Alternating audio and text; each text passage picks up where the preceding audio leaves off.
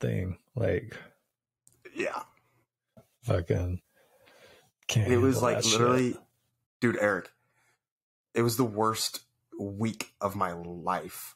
No coffee, no beer, no weed, no food for that matter. Like, I could barely drink water and soup. And that, that that's why I didn't think it was anything like, you know, like with my, my, balls or anything. You know, I was just like, uh, uh, what the fuck is it? It's like a You're stomach pain or feeling it in your abdomen, like up Yeah, in your well, abs, ab and kidney. right? And lower was- back. yeah, lower back, and so that's why I was like, okay, whatever. That's where all the nerves yeah, bundle up.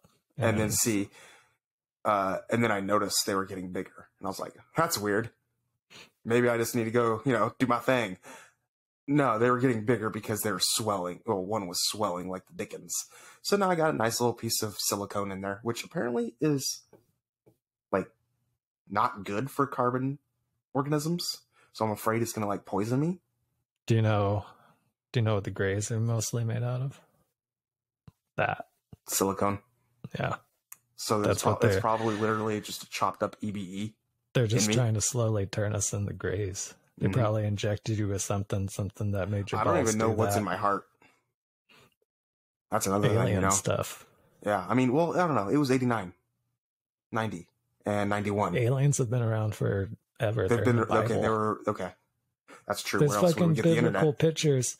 Like there's this picture, I think it's Mary, some like famous old painting. It might some famous painter. I don't know. I'm not a Bible guy. But in the back, there's like a shepherd and he's just there with the sheep. He's just fucking pointing in the air like we're only the only one seeing this shit, and there's like a fucking UFO in the air. It looks like a UFO. It's like a cylinder with like an orange, and it's got like little jewels on it, which look like lights. I'm gonna like look up this dude- painting and I'm gonna cue it right here. It's I don't on like Ancient doing Aliens. things. It's God on one damn of it. those Of course episodes. it is. Yeah.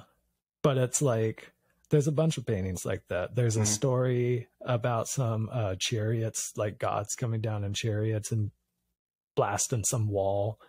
I think for the Greeks or something like that. I don't know. I'm not a history guy. Yeah, something about guy. the horns with Jerusalem and and stuff. All I that, don't know, yeah. But it's aliens.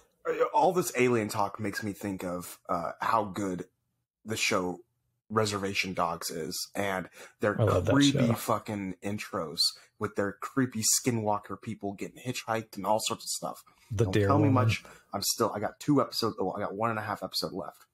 of the whole series, or No, just the first season. oh, okay. There's only two seasons. right. Uh, Did they They're stop coming it? out. or No, I think they're coming out with the third one. okay, so okay, Pretty cool, sure. Cool. I hope. Um, yeah, dude, that show's show. fucking awesome. I like it a lot. It's cool. funny. And uh, what's his face? Big. It, well, Big Hill is what his name is, I guess, because they call him Big, but his, his name tag says Hill. I don't even know what his real name is, but uh, the fucking the, the tribal police cop, that guy's I like him. He's my favorite. he's awesome. yeah. Ozzy from Fargo. He's he's so